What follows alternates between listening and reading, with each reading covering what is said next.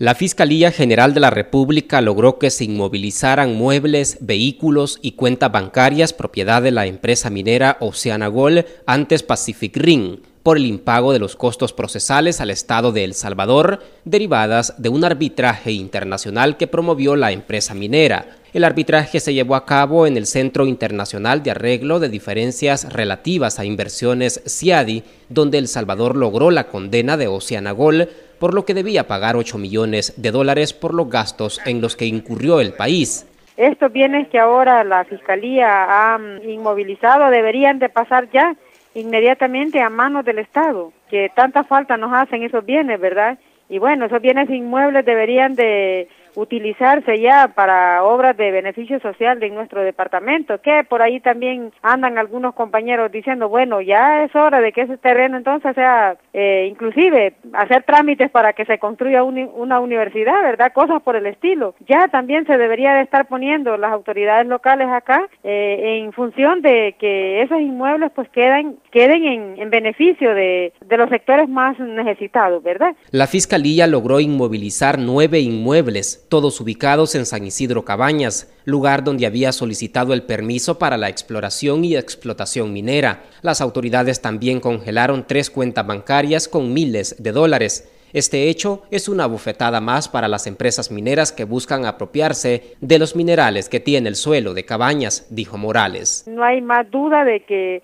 eh, en El Salvador no es un campo para que ellos puedan eh, hacer sus barbaridades como lo han hecho en otros países, que se vayan para Canadá, que se vayan para Estados Unidos o para el mismo Australia si es posible, si allá pues según ellos dicen, de allá, vienen de allá de hacer proyectos y de hacer grandes eh, apoyos a los gobiernos, pues entonces que regresen para sus tierras y y, que nos dejen en paz a los salvadoreños. El 14 de octubre de 2016, El Salvador ganó el laudo arbitral a la empresa minera Oceanagol, que había demandado al Estado salvadoreño por 248 millones, argumentando que se le habían vulnerado sus derechos comerciales al prohibirle la exploración y explotación minera en Cabañas.